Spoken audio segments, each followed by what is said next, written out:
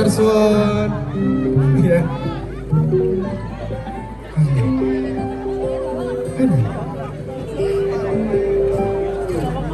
Oke. Tadi sampai mana?